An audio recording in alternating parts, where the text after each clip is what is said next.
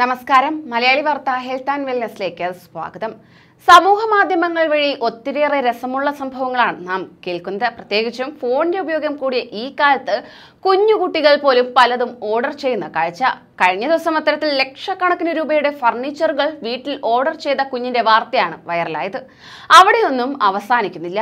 ഇപ്പോൾ online food delivery ആപ്പുകൾ സ്ഥിരമായി ഉപയോഗിക്കുന്നവരാണ് നമ്മളിൽ പലരും.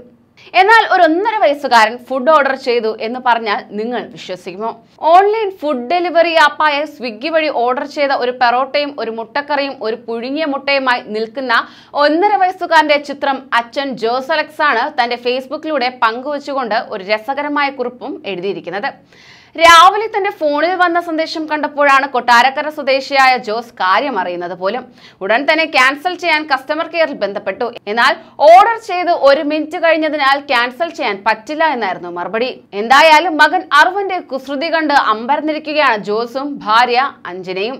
മകൻ സ്ഥിരമായി തന്റെ ഫോൺ ഉപയോഗിക്കാറുണ്ടെന്ന് ജോസ് ഒരു പ്രമുഖ മാധ്യമത്തോട് പറഞ്ഞു. സ്റ്റാറ്റസ് ഇടാനും പ്രൊഫൈൽ പിക് മാറ്റാനും ഒക്കെ അറിയാം ഈ കുരുന്നിന്. എന്നാൽ ഇത്തരമൊരു സംഭവം മകനിൽ നിന്ന് പ്രതീക്ഷിച്ചില്ല എന്നാണ് ജോസ് പറയുന്നത് ഫേസ്ബുക്ക് പോസ്റ്റ് ഇങ്ങനെയാണ്. സ്വന്തമായി സ്വിഗ്ഗിയിലൂടെ ഓർഡർ ചെയ്ത ഒരു പെറോട്ടയും ഒരു മുട്ടക്കറി ഒരു ബോയിൽഡ് എഗ്ഗായി നിൽക്കുന്ന ഒന്നര വയസ്സുകാരൻ. സംഭവം സത്യമാണ്. രാവിലെ മെസ്സേജ് വന്നപ്പോഴാണ് ഞാൻ അറിയുന്നത്. ഉടൻ തന്നെ ക്യാൻസൽ ചെയ്യാൻ കസ്റ്റമർ കെയറിൽ വിളിച്ചു. ഓർഡർ ചെയ്ത് ഒരു മിനിറ്റ് കഴിഞ്ഞതിനാൽ ക്യാൻസൽ ചെയ്യാൻ പറ്റില്ല എന്ന് മറുപടി. ക്യാഷ് ഓൺ ഡെലിവറി ഓപ്ഷനാണ് ഈ ഓപ്ഷൻ ഞാൻ സത്യമായി സ്വിഗ്ഗിയിൽ കണ്ടിട്ടില്ല. അല്ല ഉപയോഗിച്ചിട്ടില്ല. ആ ഓപ്ഷൻ ഞാനിപ്പോൾ എടുത്തു നോക്കി. മൂന്നിലധികം കൺഫർമേഷൻ ശേഷം മാത്രമേ അത് ചെയ്യാൻ പറ്റുന്നുള്ളൂ. പിന്നെ ഇവനെ ഇതെങ്ങനെ? ഞാനും ഭാര്യയും കൂലം കഷമായി ഇത് ചർച്ച ചെയ്യുമ്പോൾ ഞാനൊന്നും അറിഞ്ഞില്ല എന്ന മട്ടിൽ ഒന്നര വയസ്സുകാരൻ പെറോട്ടയും തിന്നുന്നു. ശ്രദ്ധിക്കുക കേൾക്കുമ്പോൾ രസമായി തോന്നുമെങ്കിലും വലിയ അപകടമാണ് അറിവില്ലാത്ത കുട്ടികളുടെ കയ്യിൽ ഫോൺ കിട്ടിയാൽ. പറ്റിയത് പറ്റി ഇനി സൂക്ഷിക്കണം. ഞാനും നിങ്ങളും.